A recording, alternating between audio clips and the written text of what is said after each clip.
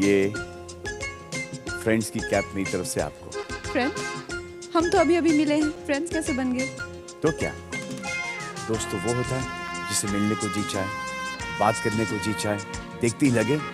That's my friend और फिर आपके पापा और मेरे पापा भी तो दोस्त हैं। और फिर ये कैब बनाई भी तो दोस्ती के लिए ही है। है ना? बाल खराब कर दूँ आपके नहीं। नहीं? अच्छा। थैंक यू दोस्ती का एक उसूल है madam. No sorry no thank you okay